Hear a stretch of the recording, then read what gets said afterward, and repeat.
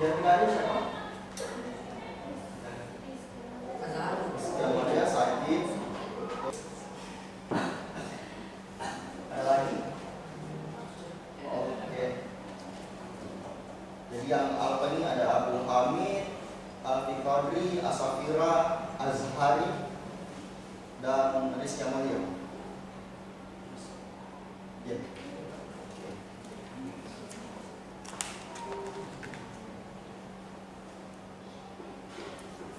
Nah, eh, sebelum Bapak mulai, ada yang masih ingat materi minggu lalu?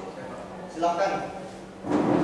Materi minggu lalu kita mempelajari tentang alat kerja fiber optik. Satu, cleaver. Dua, optical power meter. Tiga, visual power locator. Empat, konektor fiber optik. Oke, terima kasih. Keren, keren, masih ingat.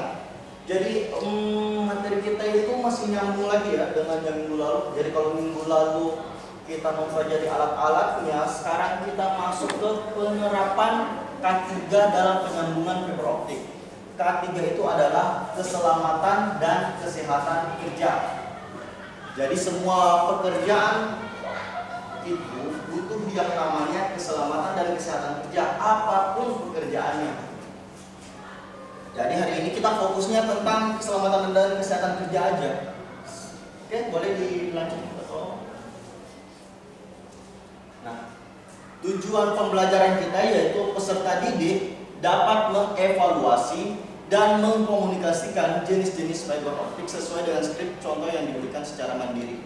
Sumber belajarnya masih sama, e, buku pegangan guru Andi Novianto tahun 2011 2019 teknik pengolahan audio dan video berbasis e, luas terbitan Erlangga dari Jakarta.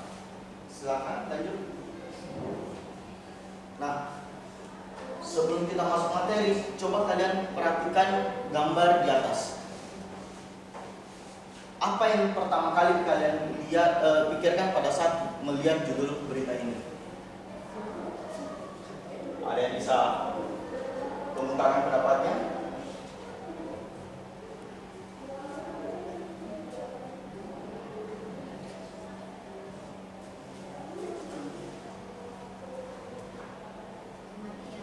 Nah, ada yang jawab kematian. Ada lagi? Ah, terbuka. Jadi, ini adalah berita kecelakaan kerja pada saat pemasangan kabel fiber optik. Nah, kecelakaan ini bisa terjadi karena mungkin tidak menjalankan e, standar keselamatan dan kesehatan kerja. Nah, hari ini yang kita bahas itu bagaimana caranya supaya tidak terjadi lagi hal yang seperti ini. Itu yang akan kita bahas. Semua pekerjaan itu pasti butuh yang namanya perlindungan diri. Kalian kalau dulu masih ingat pada saat merakit salah satu keselamatan dan kesehatan kerja misalnya kita merakit itu tidak boleh dalam keadaan kabelnya terpasang. Kita harus pakai sarung tangan, harus pakai sepatu, kan seperti itu. Begitu juga ini ada keselamatan dan kesehatan kerjanya. Itu yang bakalan kita bahas ini hari ini. Silakan. Nah, jadi penerapan K3 itu seperti yang kita tahu dalam mengerjakan sesuatu pasti ada standar keselamatan dan kesehatan kerja. Begitu juga pada saat penyambungan kabel fiber optik. Jadi pada hari ini kita akan membahas hal-hal yang perlu kita perhatikan pada saat penyambungan fiber optik. Lanjut. Yang pertama, mengambil potongan dan pecahan fiber optik dengan lakban dan membuang ke tempat sampah. Jadi sebelum kita nanti praktik, kamu harus tahu itu serpihan kacanya fiber optik pada saat selesai dipotong itu kan ada serpihan kacanya itu tidak boleh kita ambil pakai tangan. Bukan seperti kita kayak di rumah gelas jatuh terus kita ambil pakai tangan kadang kan? Begini pecahan kaca di tangan. Kalau fiber optik nggak boleh karena partikelnya sangat kecil. Takutnya dia kalau masuk masalahnya tidak, tidak kelihatan. Kalau serpihan kaca gelas yang pecah itu masih kelihatan. Ini tidak takutnya kalau dia masuk dioperasi saja susah. Makanya supaya kita tidak terluka usahakan pada saat selesai e, penyambungan serpihan kacanya itu ditempelkan di lakban jadi misalnya ada di lantai atau di meja lakban ditempel di atasnya.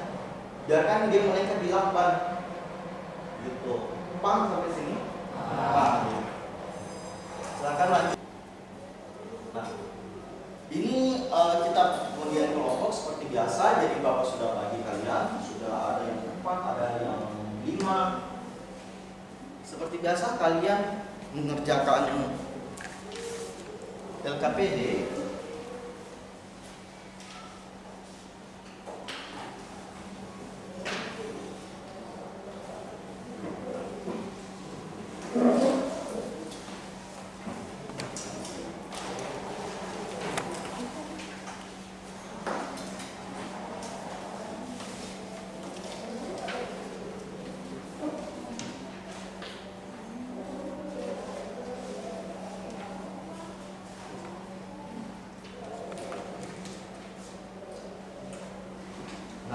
Biar LKPD ini silakan buka di halaman kedua. Jadi petunjuk penggunaannya ini dipakai untuk dua pertemuan. Ini pertemuan pertama dan pertemuan kedua kita di hari Kamis nanti. Terus eh, seperti biasa LKPD ini diperuntukkan untuk kelompok kelompok bukan kerja individu. Kedua materinya berkaitan tentang penyambungan fiber optik. Ketiga, sebelum melakukan kegiatan, baca setiap langkah yang disajikan pada kegiatan dan bertanya jika kalian kurang paham. Kompetensi dasarnya kalian bisa mengevaluasi penyambungan fiber optik dan melakukan e, penyambungan fiber optik. Indikatornya kalian harus bisa melakukan penyambungan fiber optik dan menerapkan keselamatan dan kesehatan kerja fiber optik. Di halaman ketiga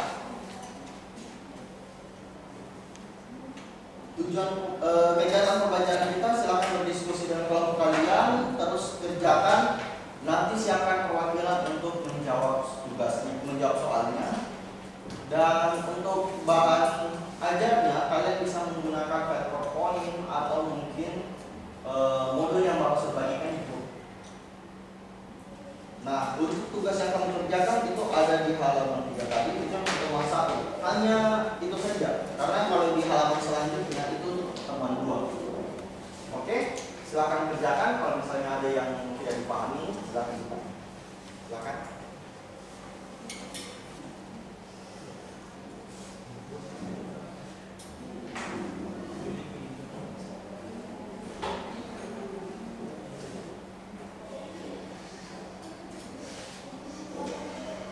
Ini satu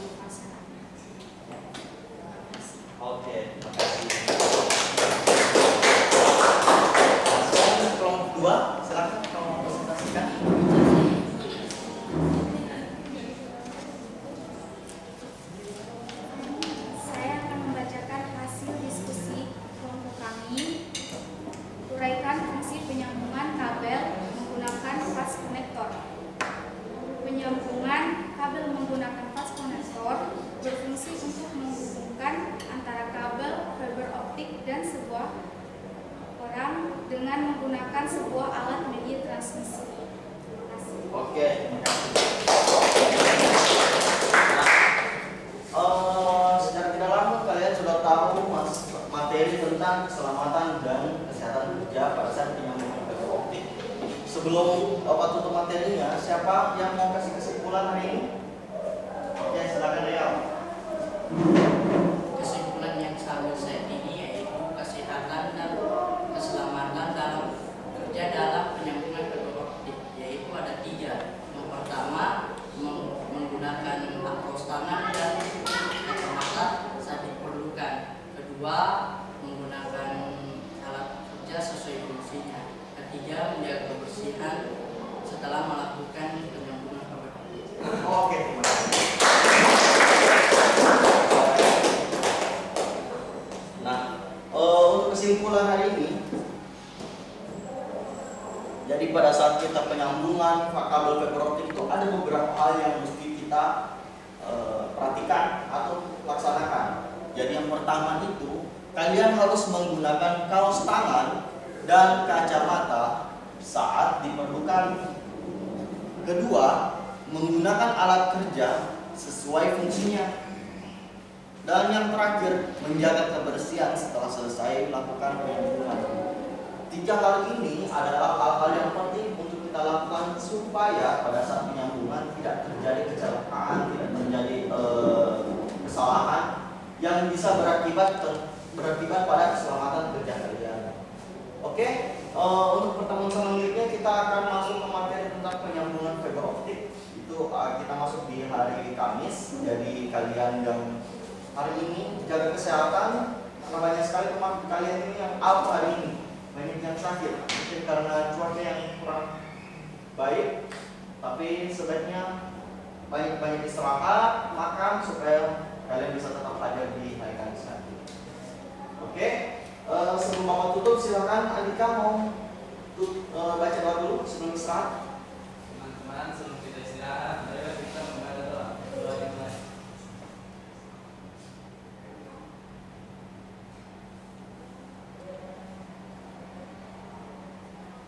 Selesai. Oke, sebelum eh, kalian istirahat, boleh diperhatikan di bawah kalau misalnya ada sampah supaya kelas tetap bersih. Aman? Oke, kalau sudah aman, terima kasih atas